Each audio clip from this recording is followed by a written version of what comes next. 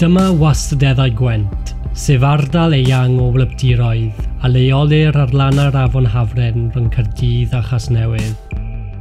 Mae'n ardal o arwyddo cad rhyngwladol sy'n cynnwys 8 safle o ddiddordeb gwyddonol arbennig. Mae'n dirwedd hydolus ac arallfydol. Mae'r gwasadeddau yn rhwydwaith estynedig o borfeidd ffrwythlon a sianeli dŵr hanesyddol – sy'n cael ei hadnabod yn lleol fel rhywanau.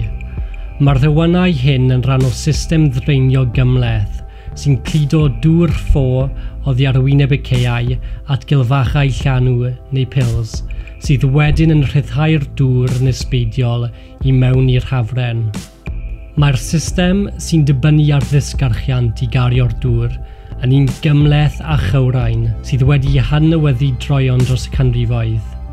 Er taw rhyfeiniaid oedd y cyntaf i gychwyn y broses o adennill y tir trwy adeiladu mor glawdd, fe ddechreuodd y gwaith go iawn o drawsffurfio'r gwastadeddau gan fynachod allteirin yn yr oesoedd canol, a nhw sy'n gyfrifol am greu'r system ddreinio bresennol.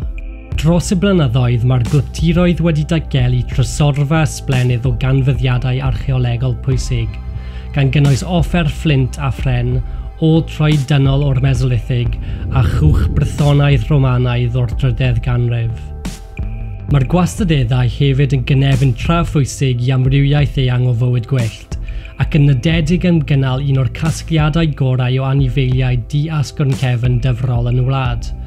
Mae'r gwastadeddau hefyd yn gadarnlu i sawl rhywogaeth bryn, megis y gardwn yn enfain, y chwilen arian fawr a'r planhigyn fasgylaidd blydeol lleaf yn y byd. Yn ogystal â hyn, mae'r ecosystem yn cefnogi adar pryn megis creharod a chornic a ac anifeiliaid megis dyfrgwn a llygod pengrwn y dŵr ymhlith rhywogaethau eraill sy'n ffynnu yng nghynefunoedd y gwastadeddau. Ond er ei pwysigrwydd cenedlaethol a rhyngwladol, mae dyfodol y gwastadeddau yn yfantol. Yn ddiweddar, mae Llywodraeth San Steffan wedi bygwth unwaith eto i fwrw ymlaen gyda'r cynllun dadleol o adeiladu ffordd liniaru ar gyfer rem pedwar trwy ganol y dirwedd unigryw hon, gan ddifetha rannau helaeth o'r glybdiroedd yn y broses.